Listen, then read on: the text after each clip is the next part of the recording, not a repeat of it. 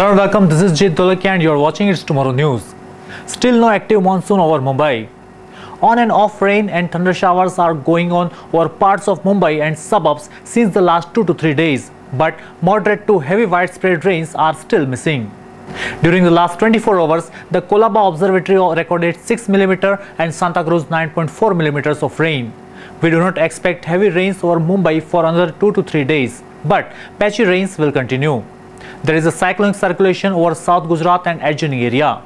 Cyclonic circulation will intensify and the monsoon over Maharashtra will get activated by July 3rd or 4th.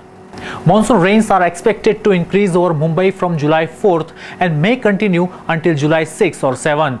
During the, that time, moderate rain with isolated heavy spells is possible over Mumbai and suburbs. These rains will drop the temperature and give much needed relief from hot and humid weather conditions. Indian Meteorological Department has issued an orange alert for Mumbai, Thane and Palghar for the weekend indicating heavy to very heavy rains in isolated places. This is likely to bring some relief for the city which is yet to witness a continuous downpour. The southwest monsoon officially covered Mumbai on June 14th, but so far there has been only one intense rain spell on June 18th. Weather officials said that the rain forecast was owing to an offshore through from the North Maharashtra coast that persists.